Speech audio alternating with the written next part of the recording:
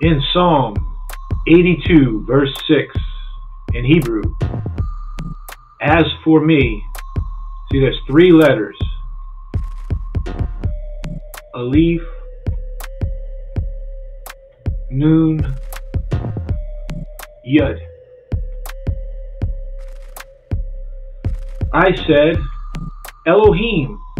Elohim means God in Hebrew. But we see here says God, small g, plural. In Genesis 1 1, when Elohim is used, it's preceded by Bara, which makes Elohim singular. The five letters of the word Elohim, here being plural. You are, and you are all sons, four letters, of the Most High. Sum totaling to 29 letters and 7 words. This is going to be very significant as the video continues.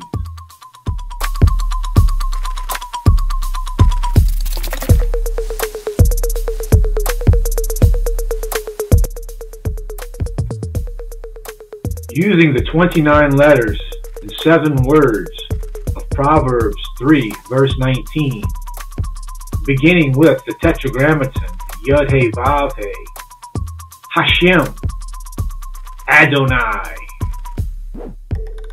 The four letters of the Tetragrammaton having a sum total Hebrew Gematria letter value of 26. By wisdom, he founded Eretz, the earth. He established the heavens by understanding this has a sum total of 1,447.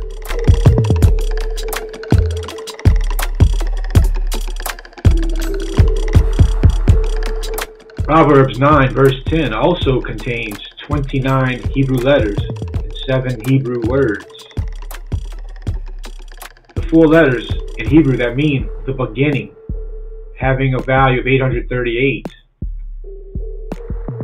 Of wisdom, is the fear, is the tetragrammaton, Yadivave, Adonai, which is the Lord, and knowledge of the Holy One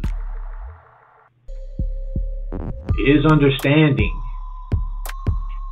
Proverbs 9.10 has a sum total Hebrew Gematria letter value of 2,549.